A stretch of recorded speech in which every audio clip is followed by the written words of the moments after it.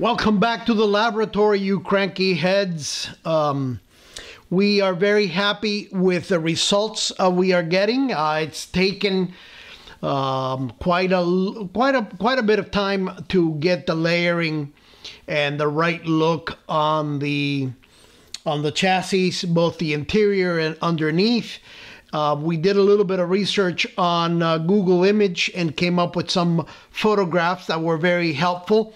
Um, this is, of course, a chassis that's, um, you know, pretty banged up, but um, it still retains perhaps some of its old uh, glory, including, and you see it there, uh, the, the stuff that's shimmering, of course, is the uh, steel uh, plating uh, look that's still um, lingering, even though it's you know it's it's gotten uh, rather worn, and that's the, the kind of look we wanted on the interior, and then of course underneath, uh, we are trying to decide now.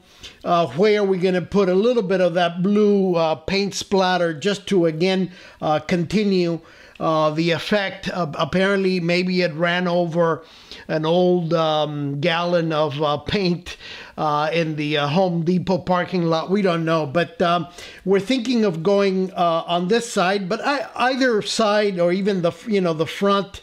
Uh, anywhere uh, uh, where a little bit of that of that paint splatter uh, again just to draw the eye there but um, again we're making very good progress on the chassis and uh, we're very pleased with the way it uh, it looks. And I think uh, we're pretty much done with it, except for maybe.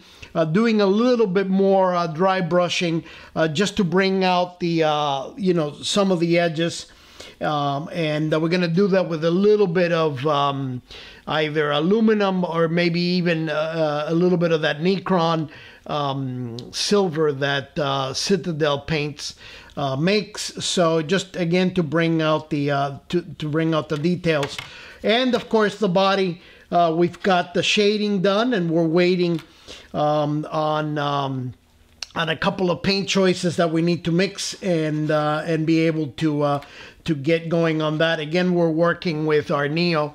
So uh, anyway, my friends, do stay tuned in. If you have any comments or questions, you know where to leave them. And uh, we'll be around. More uh, Cranky Show coming up.